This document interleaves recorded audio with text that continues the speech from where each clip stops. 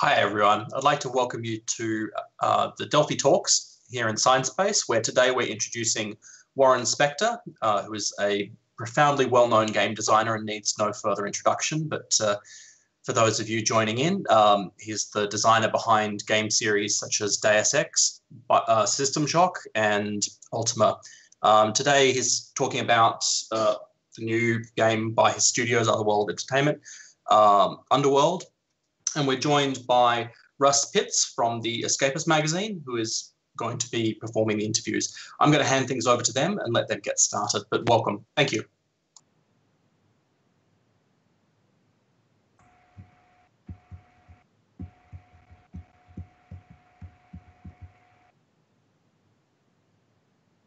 Oh, I had this. I had this entrance all practice. Oh, here we go. um, so yeah, let me introduce uh, Russ first. So Russ Pitts is the co-founder of both a video game website, Polygon.com, and the mental health advocacy charity TakeThis.org.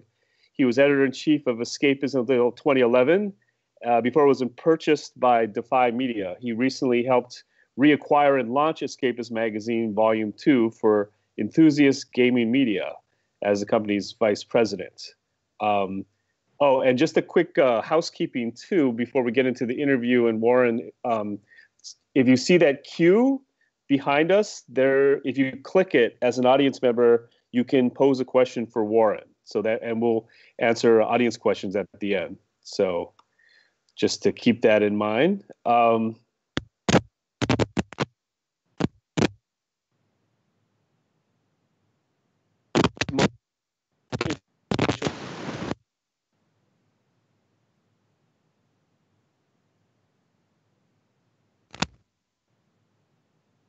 I think we lost James. Unfortunately, I think we did. Yep. But I think that we've got enough. Do you guys feel like taking it from there? Yeah, yeah absolutely. That's fine. Uh, well, we lost James, but uh, this is Russ. I'm here. Uh, Warren, I, I'm, I'm hoping you're still here. You're the man of the hour. I'm still here.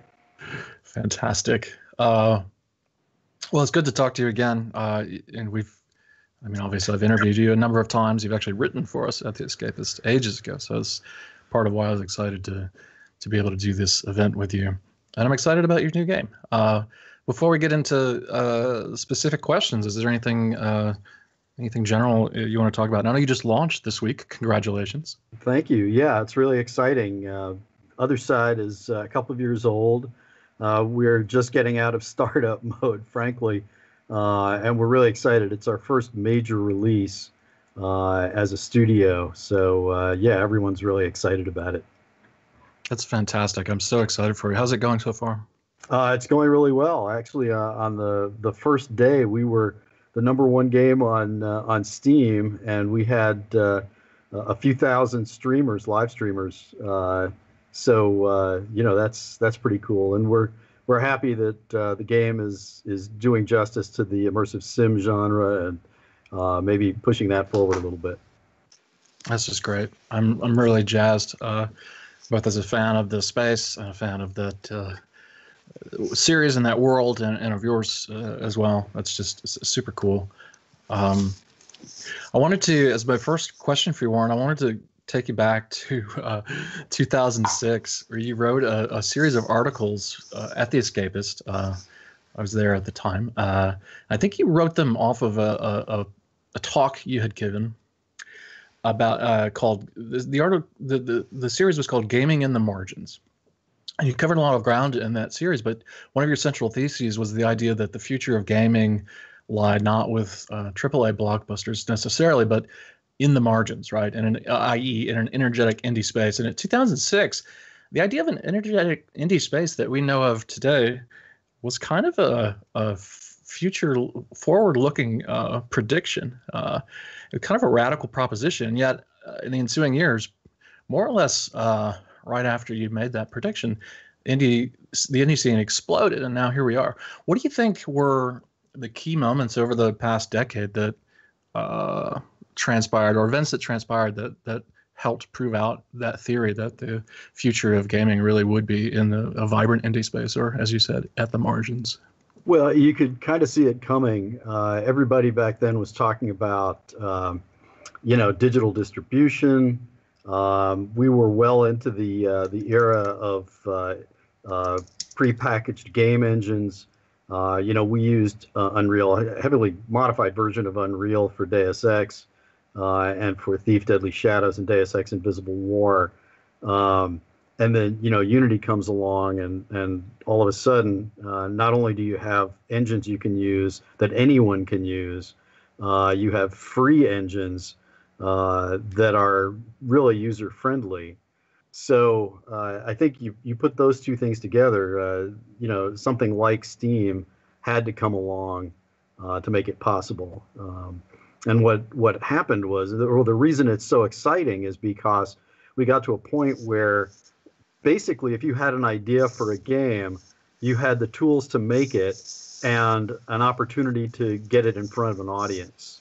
And you know, in, in 2006 even that that wasn't really the case. You could you could just see it on the horizon, but back then, if you weren't backed by a major publisher, uh, you really didn't have a whole lot of options for uh, releasing your game. Uh, I mean, there was shareware, of course, but uh, the explosion of indie, I think, is really digital distribution and the existence of uh, of game engines.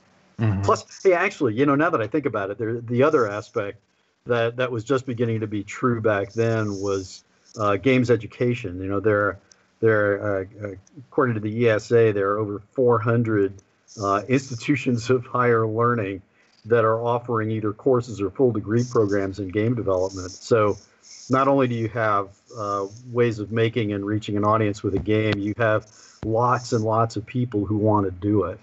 Uh, so all of that together, I think, is is the reason why you see it now. That's really cool. Oh, am I coming through? Or am I back? Yeah, yeah, we can hear oh, you. Oh, great. Oh, cool. Okay. Do you had another question, Russ? Before I jump in? No, go ahead. Oh, cool. And yeah, just to back up a little bit, Warren, maybe you can talk about the relation between Underworld Ascendant and Ultima Underworld, which you produced way back in the early 90s. Yeah, the, what is it, 1992, I think. yeah. Uh, the the thing that just blows my mind is that people still care. You know, I mean, when when Deus Ex hit its 15th anniversary, I think I did more PR than I did when the game came out. People were more interested in talking about it then. But to go hmm. back to 1992, uh, wow. a, a, game that, that people still care about uh, passionately is is pretty incredible. Um, the relationship is is interesting. It, it's not an Ultima game per se. Mm-hmm. Uh, that's that's something uh, I guess EA didn't didn't really want us to do. Um, but there are certain elements of the game. Cabirus is a character from the original game.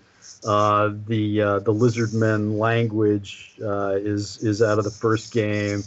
Um, the uh, the runic spell casting uh, is is a direct descendant of what we did in the original Ultima Underworld. Uh, and there are there are little things here and there for fans, but we really wanted to do something that captured the spirit, the essence of those original games, mm-hmm. uh, but wasn't uh, uh, you know a straight sequel uh, or something that just recreates what we did. I mean, how many years ago is that? Is that 26 years? Good lord. Uh, we didn't just want to recreate that. Mm-hmm.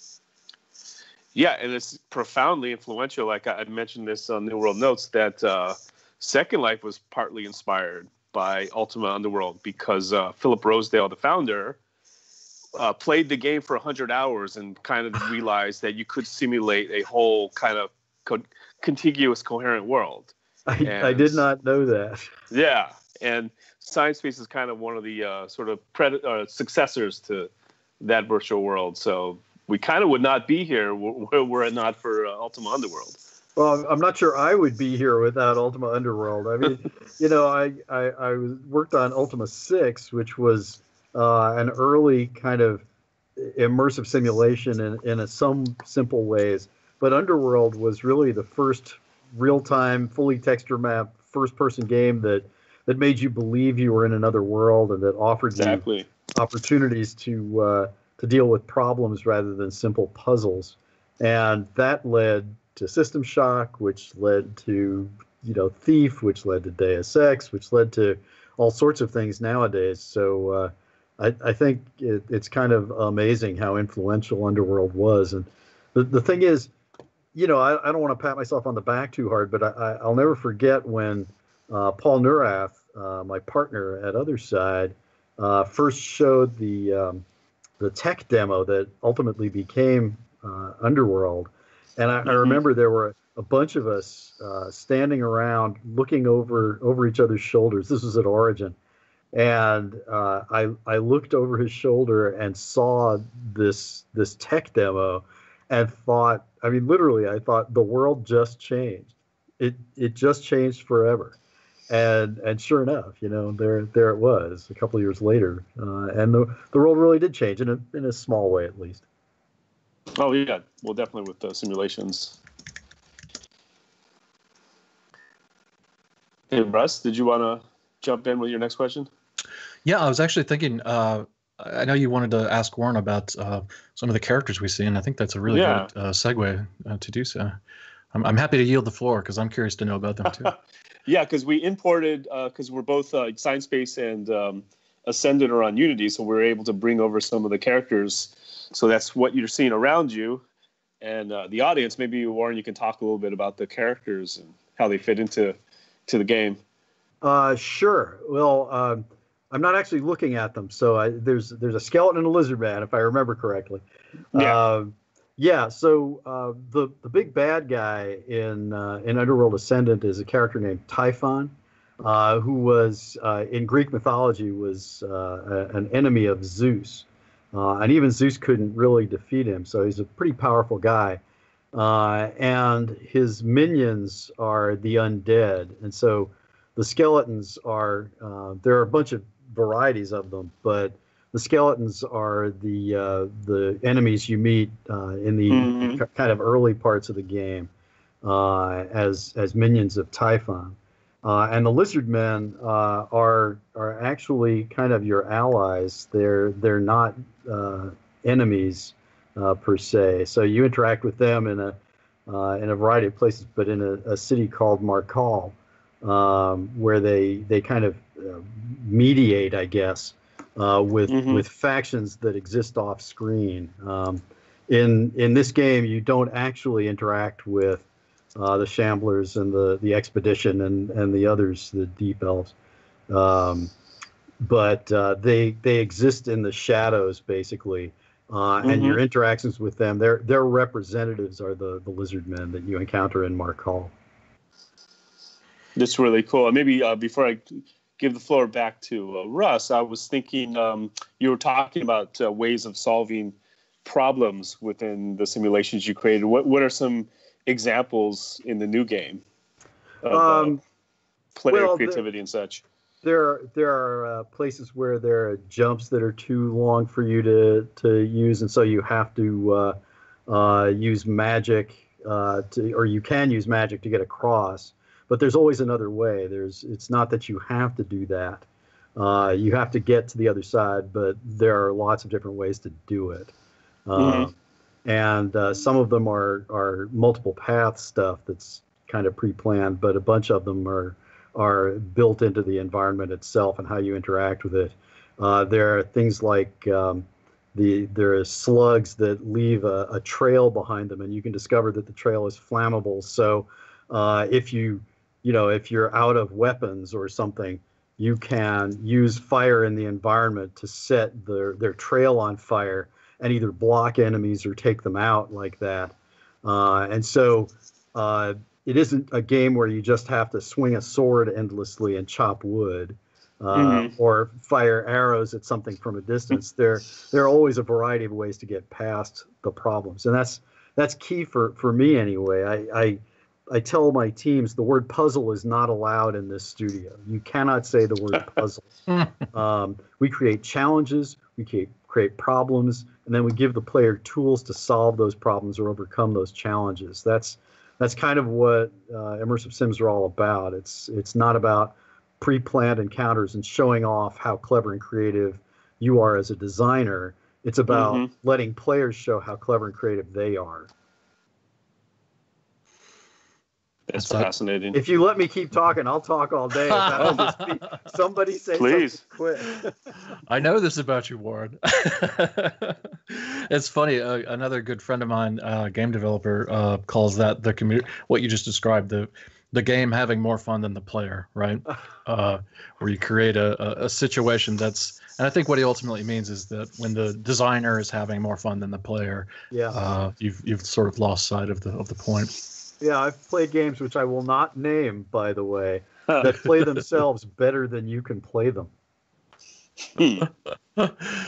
one of the uh, so one, one of the things you and I have, have talked about a couple of times, and that, that I've heard you. Uh, uh, I can't remember the event where I, I first heard you talk about this, but the idea that in, increasing photorealism in video games would would start to bog down AAA development as it tried to replicate, you know, everything in a realistic way. And I believe the example you used back in the day was uh, a character bumping into a table, uh, and there's a glass of water on the table, and the table has to shake, and the glass of water has to shake, and maybe the water spills, and it just becomes uh, kind of a, a set of diminishing returns of, of attempting to create that realistic of a scenario. Is that, uh, I, you know, I is is is Otherworld and and Ultima. Are, are you attempting to sort of client reclaim some creative space from that uh, series of diminishing returns, or how how big a problem is that for you these days? Uh, well, for Otherside, it's a huge problem because we're an indie studio uh, and can't put hundreds of people on projects. You know, uh, on Underworld Ascendant, uh, the team was uh, 14, I believe, uh, and we're working on System Shock 3 down here in Austin, and the team is 17. So we're never going to compete with the the, the big AAA monster teams, monster games. Um, I'm actually pretty impressed the, at how far we've come since I, I said that. Uh, the the AAA space really is getting uh, to the point where you can build a, a, a deeply interactive and immersive game and still have it look that way. Uh, look, look uh, photo well, almost photoreal. We're not Mm. quite there yet. Mhm. Um, but for Otherside, we knew going in that we couldn't compete with that. And so what we wanted to do in, uh, in uh, Ascendant and also uh, in System Shock 3 is find a, a stylized look for the game that, that kind of unasks the question about, well, why doesn't this look as good as game X? Um, and so if you look at Underworld Ascendant, you'll see a highly stylized environment that is in fact uh, inspired by um, miniatures gaming. Uh, you know, like a real D and D game, uh, and, and Hmm. it, it looks like a miniature set and painted miniatures by design. And in fact, uh, many of the uh, characters and items in the game were really modeled out. Uh, there, there are three-dimensional, solid, real-world uh, models of things in the game that are unbelievably cool. I mean, if if we had a brain in our heads, we'd be selling, you know, 3D 3D printed versions of the things in the game, and you know, who knows? Maybe that'll happen. But Mhm. um, uh, that's we again we couldn't compete with that, so we had to take a different direction, uh, and it just happens to be a direction that that plays nicely with um, the uh, the kind of systemic uh, immersive sim sort of sort of ethos. I can imagine you getting into sort of the, the game to life space, right? With these uh, with these uh, miniatures that you can then plug into your game. That would be kind of cool. Uh, Yeah. I don't know if you yeah. if you're taking feature request, but uh, log Uh, that one for me if you if you will. Okay, it's it's written down. We'll get right on it. Excellent. Uh, James, did you want to jump in? Yeah. Um, well, we, we you mentioned Unity, and since Sinespace and Underworld are are made in Unity, I wonder if you c- can talk about the challenges and advantages of creating an immersive world on Unity. And I, and I think I know uh, Will on your team is with you, so in, in case he wants to jump in, he can help out too. That Yeah. question. I'll I'll I'll start and then turn this over very quickly to Will because I'm I'm the opposite of a tech guy. Um, but uh, Unity's been great. Um, you know, we uh, uh, we've been working very closely with them uh, and getting lots of input and assistance uh, and uh, sneak peeks at what's coming next for Unity. Uh, and there's lots of very cool stuff coming next for Unity, which uh, I will probably get killed if I talk about. But um, no, it's been it's been great. Uh, having having an engine to start with and build on top of is uh, is critical. Uh, and Unity's been a great partner. So, uh, Will, if you want to jump in, feel free. You, you're the guy who did all the typing. I didn't do all of it. Um, hi, everyone. I'm, I'm Will. I'm Will Texera, the lead engineer on Underworld Descendants. And yeah, so as for the challenges of Unity, I, would say that one of the biggest challenges with Unity is that it has a lot of power, and you can easily hang yourself with that power by trying to do way too much with what's there because mm-hmm. you're given so many dials and so much you can do and you know there's you want to keep your scope correct and and stay on the right track otherwise you'll go down into rabbit holes of of different areas in in the engine and so but using Unity has been amazing for making immersive sim because it's really fast to build up systems from scratch and have systems interact with each other because Unity's biggest power is extremely fast implementation and extremely fast reiteration on existing tech. So mm-hmm. every system that we've built, we've been able to iterate on it rapidly over and over and over just to make it, you know, feel better and better. Yeah, actually, I'll jump in there as well. Uh, back in the day when we were working uh, at Looking Glass, uh, we had a system that was built uh, for for Thief called mm-hmm. Act React, which was you know how how different uh, systems interact with different objects in the world in a, this sort of rules based way, and um, I, I would circulate Act React documents to the team down here, and they would just roll their eyes and look at me and say, "Come on, Unity already does that." You know? So uh, yeah, pretty powerful tool. That's great. And how, how what was the des- development cycle like with uh, Underworld? Uh, well, it was it was pretty long. Uh, you know, it started as a Kickstarter project. Right. What was it? Three years ago? I think it was. I think it was three years ago. Um, which I mean, it is a long time. I realize that, and it sounds like a long time. But the reality is, you know, when I I I I'm never going to work again after I say this, but uh, you know when I when I talk to publishers, I always tell them, you know, if you look at the last six games I've done, they've all taken about three years to make, between 32 and 36 months. So mm-hmm. if I if I tell you I'm going to make a game in less than than three years, just know that I'm lying to you. and and I still keep getting work. It's amazing to me. that's a real. That's actually a really good segue to my uh, next question. And I want before I uh, before I, I, spool that out, I wanted to remind the the folks in the audience, if you have questions for Warren, click that uh, giant queue behind us. Pop those in there. Um, James and I are going to run out of steam at some point, and we want to get your questions in before the hour is up. But Warren, uh, speaking of still getting work, uh, like, I mean, when I when I think about your career, not only is it is it incredibly impressive, but you've you know you've created worlds at Origin, you've made blockbuster hits, you know you've you've started franchises with like Deus Ex, for example. You resurrected Oswald the Lucky Rabbit for crying out loud. I mean, some might say you've squeezed games for everything it can offer. What do you continue to get out of making games? What brings you, what brings you back at this point in your career? Uh, well, you know, bringing being brought back is actually uh, pretty accurate. I when uh, Disney shut Junction Point down as kind of the leading edge of getting out of internal development, uh, I was uh, frankly I was pretty broken up. I mean, I, I loved working for Disney, and I I loved Junction Point and all the the folks who worked there. It was it was one of the highlights of my my life actually working there. Um, mm-hmm and so, uh, but when it was when it, it came to an end, I I had to take a break. I I realized that I needed some different challenges. I've been making games for well a long time. Let's just say you know 30 years or some craziness like that. And um, so I, I went into teaching. I built a game development program at the University of Texas. Um, and you know, I, am really proud of what we did there. But uh, I made a three-year commitment, and about a year and a half into it, I said to myself, "Oh man, molding young minds is great, but I, I, I still need to make some things."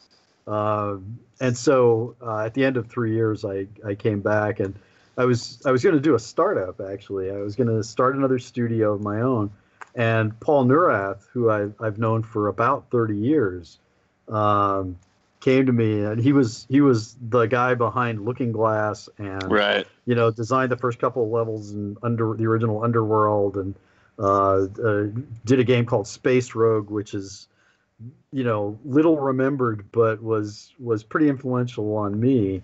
Um, but anyway, he came to me and he said uh, he was starting a studio and did I want to go in with him on it, uh, and that uh, he had the rights to do new Underworld games and new System Shock games, and uh, was I interested? And it's like you know, who how could I say no to that? um, we've learned so much since the the early to mid '90s, um, bringing bringing all that knowledge to uh, uh, to to these old franchises uh, was mm-hmm. a great opportunity. So uh, there's still, I mean, I, I still love those worlds. You know, I love the world of System Shock, and you know, I I still love the world of Deus Ex. Man, if I could go back to that, it'd be great. You know. Someone needs to get the license and, and give it back to you.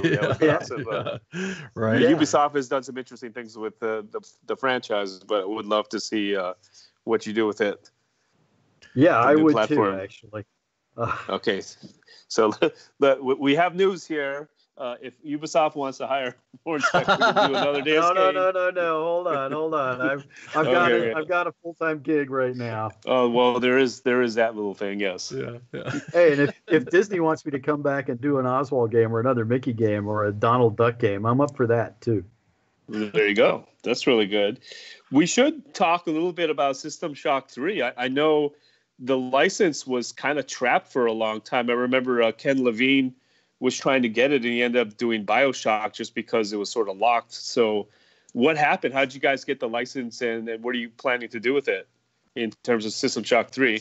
Yeah, it was it was pretty locked down when uh, uh, there was there was all this weirdness about um, Electronic Arts owning some of the rights and Looking right. Glass owning some of the rights and Looking Glass went out of business, and an insurance company ended up taking all of their their properties, and you know, so nobody knew what the rights situation was. And then uh, a couple things happened. I, by the way, I'm not going to claim to be a lawyer, so I could be getting a lot of things wrong here. But my understanding is that uh, a company called Nightdive got the rights to the trademark, uh, the System Shock trademark, from this crazy insurance company, and um, Paul went to Electronic Arts and uh, came away with the copyright. So all of the the actual material in the game belongs to Otherside, and the the trademark belongs to Nightdive. And so we work closely together. Obviously, we're kind of we're kind of bound by that. Uh, but that's that's how we got to make uh, System Shock Three. That's really great, and, and yeah, maybe give us a hint of uh, what it's going to be in it, what's new, and sort of when we can start playing it. Uh, uh, I would love to start talking about this. Trust me, but uh, all I can really say is we're going to ship sometime, and uh, there'll be some new stuff in it, and uh, that uh, you'll learn the fates of some of the people from the earlier games, and strangely enough, Citadel Station is you know probably going to make a comeback in some way or other, um, and That's Shodan great. will will definitely be back. Uh, oh, awesome! And, uh, Terri Brosius, who did the voice of Shodan, is right is back doing it again for us. So we're real excited about that. That was but, my next question. If Terry can do it, That's yeah, really cool. Absolutely, and you know, if I say any more, Starbreeze, which is our publisher, uh, will will they'll kill me, and then the game will never get made. and it's coming oh, out in less than three years, right? well, there you go. I am I am seeing audience questions, but yeah, just one more uh, from me. I'd love to um, talk about uh, Sinespace. You can access it in VR, and so let's talk a little bit about VR. uh, three years ago, you expressed some concerns around the hype over VR, telling me there's some big problems that are cultural and social. Saying, I, I believe most people will be genuinely frightened and disoriented of being effectively blind to the outside world for the sake of entertainment. So I was wondering what your perspective is now, and how do you think that relates to the future of game design? Uh, my opinion is exactly the same as it was then. Uh, I I think the hype has died down pretty dramatically and appropriately. Um, and you know, is it a fad that's going to go away? Uh, there's a part of me that still thinks that. Uh, Mm-hmm. but uh, at the very least, I think the fact that it's not being hyped quite so much uh, will allow the people working in the space to to work out the kinks, you know, to figure stuff out. Which, when that spotlight is on you, it's it's very hard to uh, to experiment. I mean, it's hard to fail, right? I mean, the way to succeed is to fail over and over and over again until you get it right. Um, and people have been failing at, at virtual reality since Jaron Lanier was doing it, um, who I know was Yeah. one of one of the folks who came and did one of these before. Yeah. Um, so uh, you know, my opinion hasn't changed a whole lot. Uh, the the interesting hypey space now is you know augmented reality, and I'm I'm still a little dubious about that. Uh, you know, no one's Yeah. no one's done anything that, that makes me go, oh my god, I have to I have to go play in that sandbox. Uh, but it's at least it doesn't isolate you completely from the world, so you have to worry about your wife coming up behind you with a baseball bat. It's a legitimate That's a- fear. That's a very specific direction to go in that one, Warren. Does that come from a, a personal place, maybe? Are we are we getting a hint? Uh, my wife might be listening to this, so let's not go there. hi, Car- hi, Caroline. That's hilarious.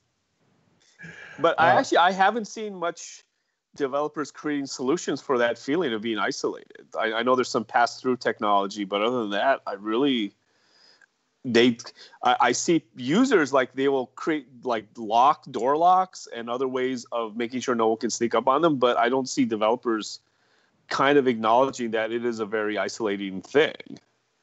Yeah, it's a hard problem to solve. I mean, it may be a problem that doesn't have a solution. You know, uh, that's that's a definite possibility. I don't know. I mean, just personally, I I have very little interest in exploring that space. To be frank, uh, Yeah. I'm I'm still a screen space kind of guy. That share that mirrors my my my feeling about the space as well. I, I personally I have a huge difficulty with having something attached to my face in general. Um, aside from the simple the, the isolation, but I know a lot Yeah. of people who are who are solving some interesting problems in VR and who are working with some really cool uh, new ideas and new tech. So I don't know. I my, my sense is just as an observer of the space that there will continue to be a place for it, but I'm not sure it's going to uh, sort of crest the that wave uh, that it needs to Yeah. crest to become Yeah, more I think- mainstream. I think there's there are uh, amazing uses for it. You know, in in training and maybe even uh, you know psychotherapy. Uh, Oh, there, are, definitely. there are all sorts of uses for it as a game uh, medium. I, I'm just not sure, and and I actually say that from a, a position of some experience, not a lot, but back at Origin, um, I did two games. Well, okay, that was what two times VR came back ago that VR came back to to change the face of gaming. Uh, two times ago, uh, uh, a game I did called Wings of Glory and the original System Shock actually supported uh, the Forte VFX One and the CyberMaxx, which were the two the two big uh, VR headsets back then. This would have been, you know, '94, and um, I'll tell you a funny story. The the world was not ready for it, or they were not ready for the world.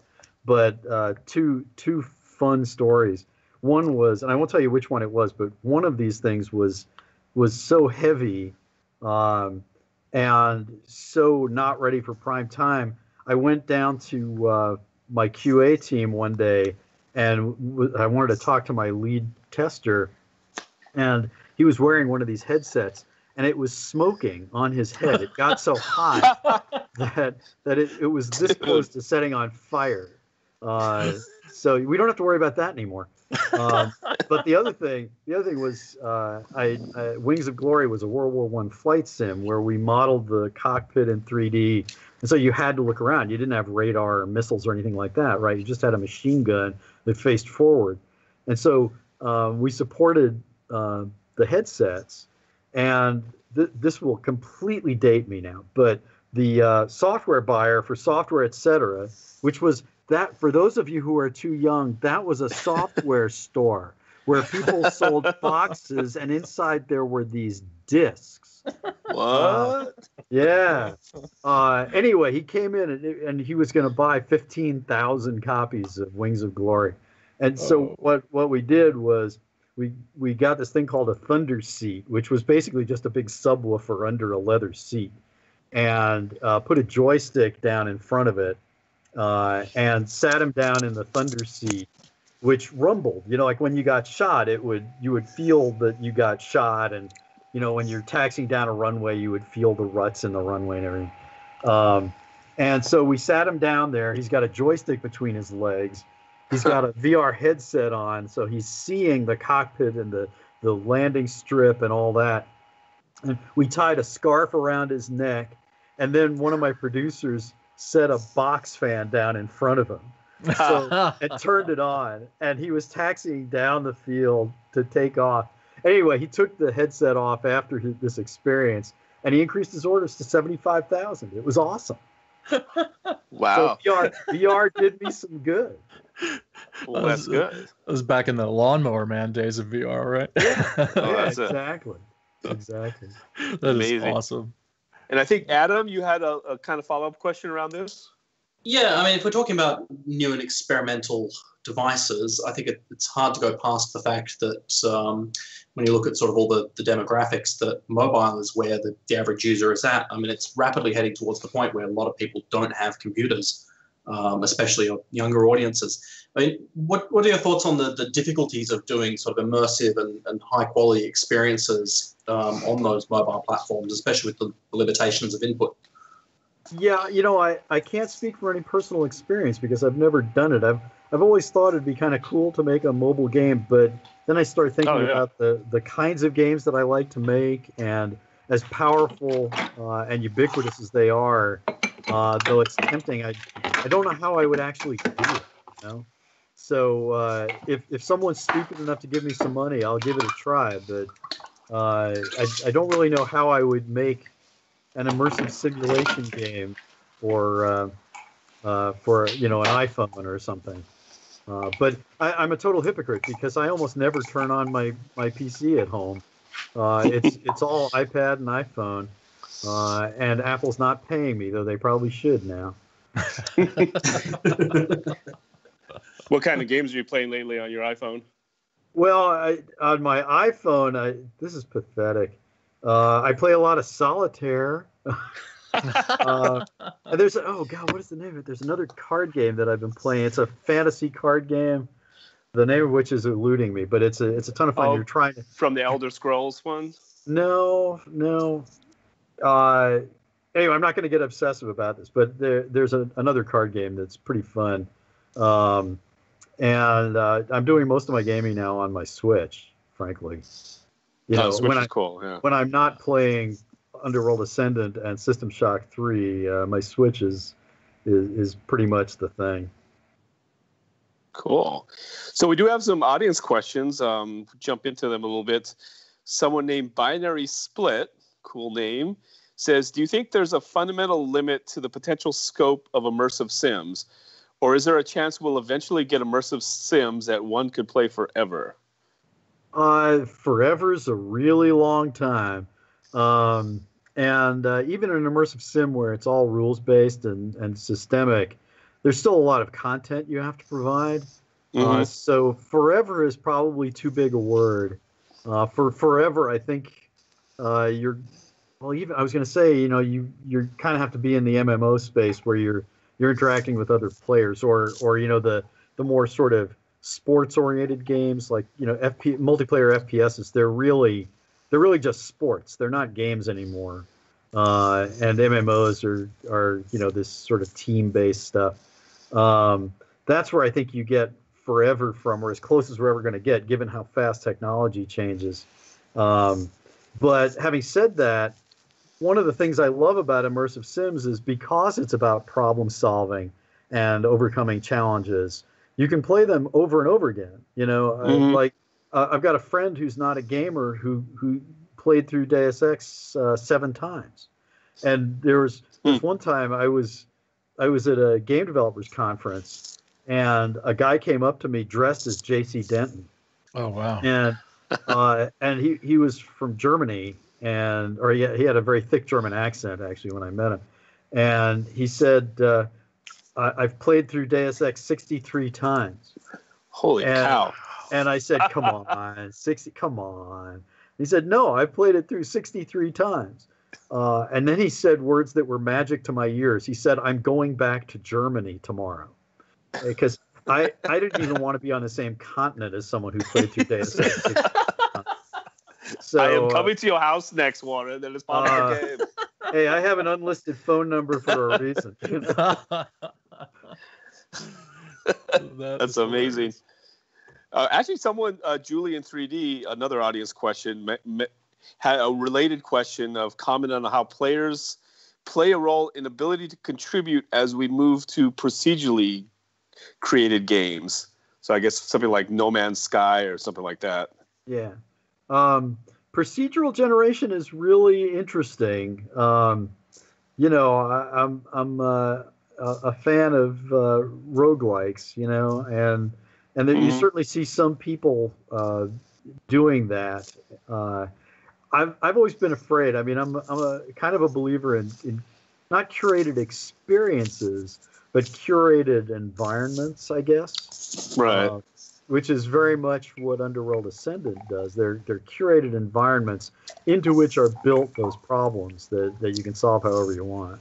Um, but uh, certainly, without saying too much, no, I okay. Don't read anything into this because we're not doing this in System Shock 3.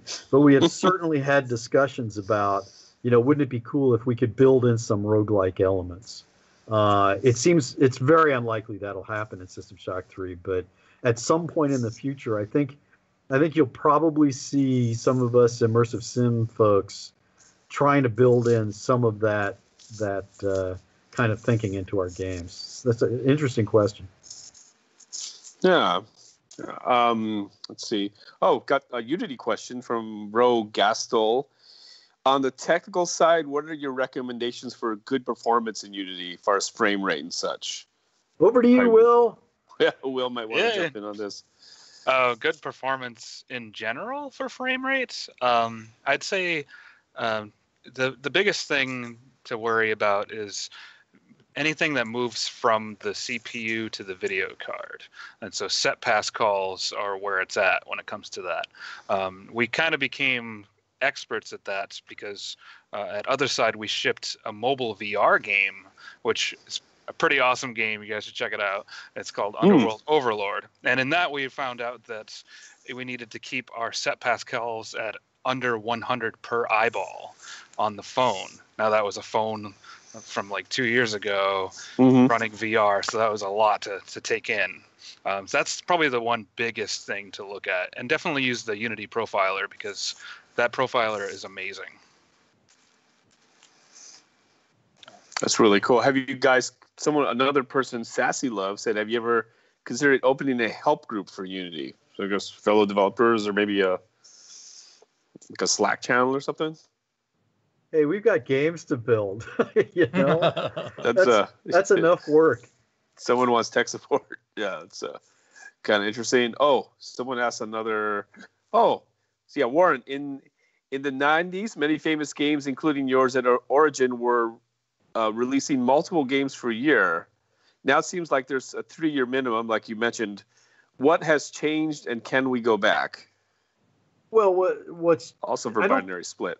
I don't think anything's changed really. Um, at Origin, we had at one point uh, seven. Uh, we called them producer groups, uh, and each one of them was, uh, you know, a profit center. We we got a like I had my own budget. Richard Garriott had his own budget. Chris Roberts had his own budget, and we had um, we had to make money, or you know, we'd get fired. Um, but what it meant was, uh, you know, I could release uh, a game in the same year that Chris released a game, in the same year that Richard Garriott released a game. Uh, in fact, uh, I was, I had a, a, a, different kind of business model than those guys did. Uh, you know, Richard and Chris were making real AAA blockbuster games. Uh, you know, huge budgets, mm-hmm. big big teams for the time, and I I was kind of the B movie guy. I was the guy who said I don't want to swing for the fences. I want to play small ball and go for singles. So what I would do is I would start up four projects, and at the end of the year, I would tell four developers. I had two internal and two external projects, and I would tell those four teams, two of you are going to die at the end of this year, and two of you are going to ship and then I would start two more. So I had four going, and at the end of the next year, two of them would die, and then the other two would ship. And so I was able to ship uh, usually two games a year uh, because I was willing to work with external and internal teams. Uh, and what it meant was rather than being uh, totally immersed in one game, I could actually, you know, be kind of a dilettante and and look in on each of the games and say, mm. no, no, no, that's not what we want. you know, make that pixel blue, not green. Um, so uh, it was it was an interesting way to do business, and I I kind of stopped. There was a point where um, a guy uh, from Electronic Arts, who I will not name uh, because we didn't get along. Um, mm-hmm. yeah. Anyway, uh, I'll tell that story in my autobiography that I'm never going to write. Oh, I can't wait. Um, anyway, he said, you know, it's a hit-driven business. I mean, to make a long story short, it's a hit-driven business, and Richard and, and Chris have the right idea. You've got to you've got to go for a home run, and so uh, I I thought he was wrong at the time, but as it turned out, the way the way gaming developed, he was right. I hate to admit it, but he was right, and so I I scaled back and started playing that AAA game that, that Chris and Rich were playing, uh, and did one game uh, at a time, which has its advantages. I mean, obviously, I get to make a lot more of the calls, um, and and you know, I'm I'm more deeply immersed in the development of a single game. But I do kind of miss that having my fingers in a lot of different pies. That was it, it was it was like juggling. You know, it was it was a lot of fun, very exciting uh, and unnerving uh, in a different way than working on one big game is. But now, you know, we're in a world of one big game. So there you go. Yeah, definitely. Uh, another question, actually from Digvijay on our team.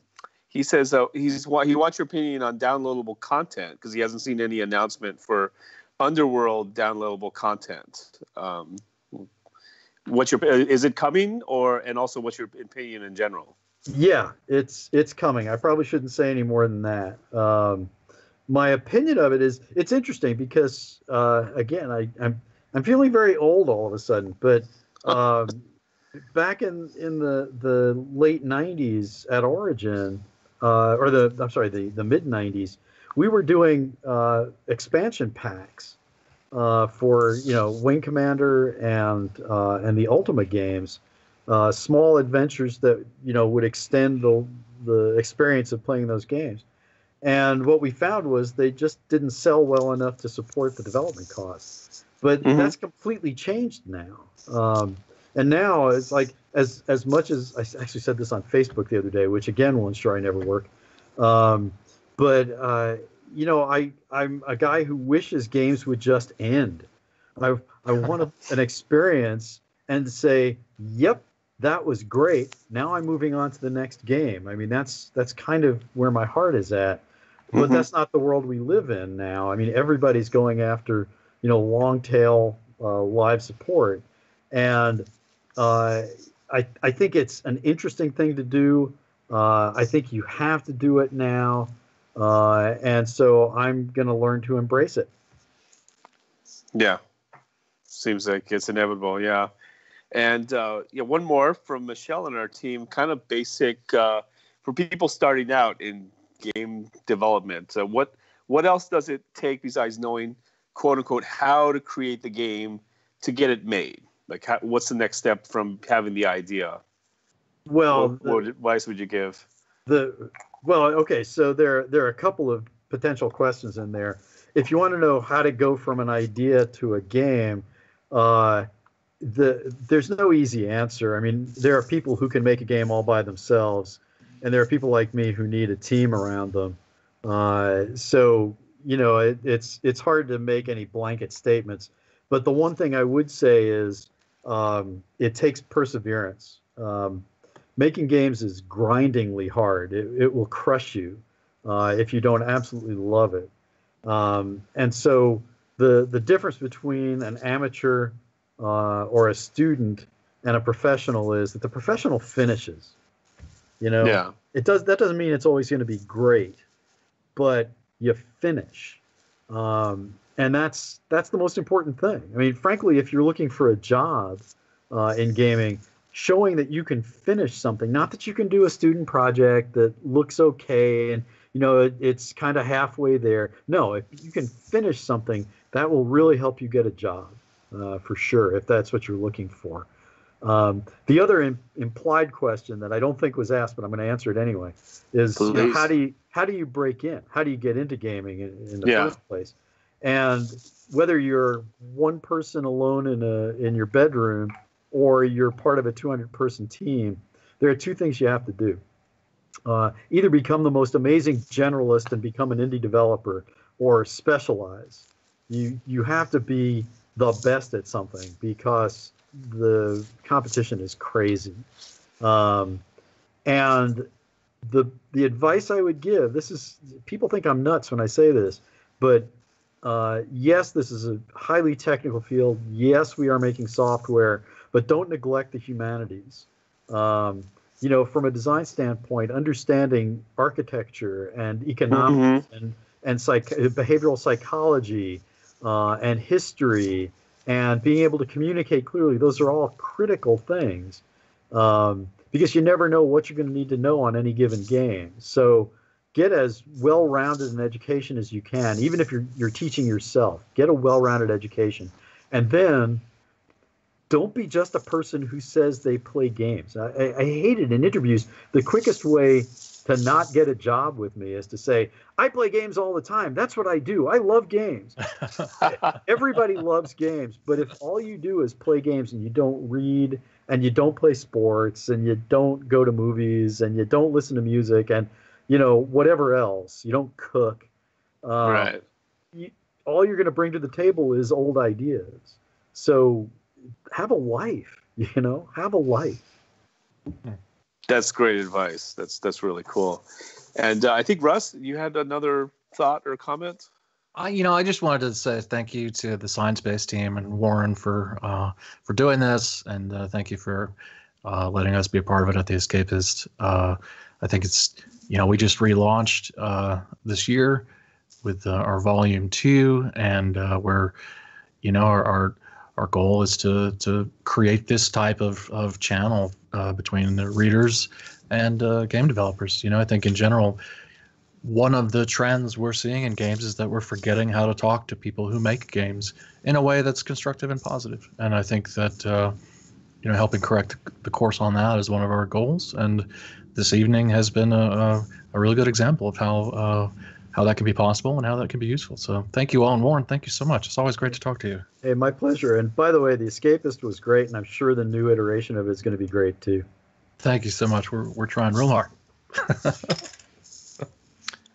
Yeah, and Warren, yeah, thank you so much for coming and, and talking. This has been really fascinating. And uh, Adam, maybe you want to um, kind of uh, play the scene off, and I, I think we're giving away some free copies. And you know, thank Warren for coming and give a round of applause from the audience. Albeit yes, virtually. abso- absolutely. And I, I think I might have horribly um, misnamed your company name at the beginning, so I do apologize for that.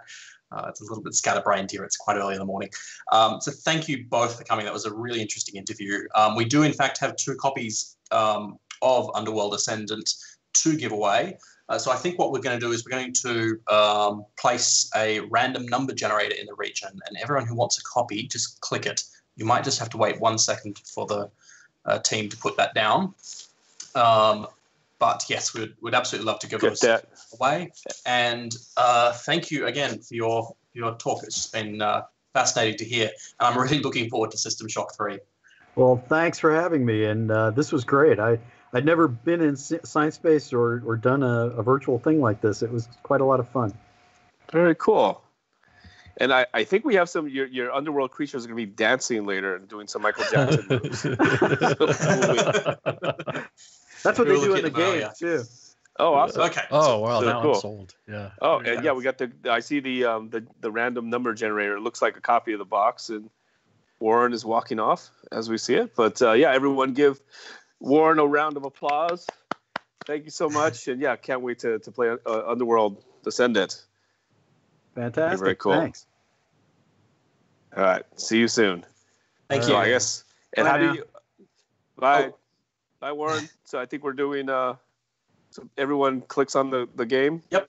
Click on it, and uh, then I think that there's some trick to it that someone will tell me on how to actually draw the winners.